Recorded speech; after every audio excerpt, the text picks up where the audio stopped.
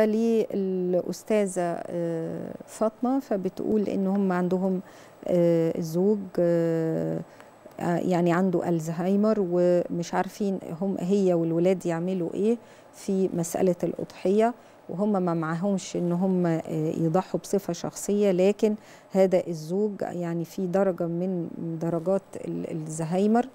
طبعا صاحبة السؤال عشان نعرف حضرتك بتقولي إزاي نتصرف في المال بتاعه وإزاي لو حبينا نعمل أضحية أو ما شابه ذلك كيف يكون التصرف؟ اولا إحنا بننظر لدرجة مريض الألزهايمر لأنها درجات.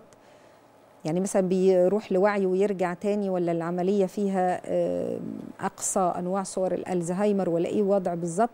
فده طبعا بيحتاج فيه تقرير طبي. إذا كان شديد يعني إذا كان درجة الألزهايمر شديدة جدا فبيجب جعل الولاية المالية محددة تكون محددة من جهة القانون النيابة الحزبية عشان تصح التصرفات شرعا وقانونا وعشان ما يحصلش مشاكل ما بين حضرتك ما بين الأولاد فبنقترح باستشارة محامي عشان نرشدهم أو إن هو يقوم بالتوجيه إلى ما يحقق اللي المفروض يتعمل والمطلوب ويضمن الحقوق اللي المفروض تكون موجودة ويرفع أي نوع من أنواع النزاع فيما بينكم فيضمن مسألة الحقوق بنوع من البينة والوضوح على أساس تبقى الولاية ولاية على المال نوع من التنظيم عشان مش كل واحد يتصرف فيها باقتراح من عند نفسه.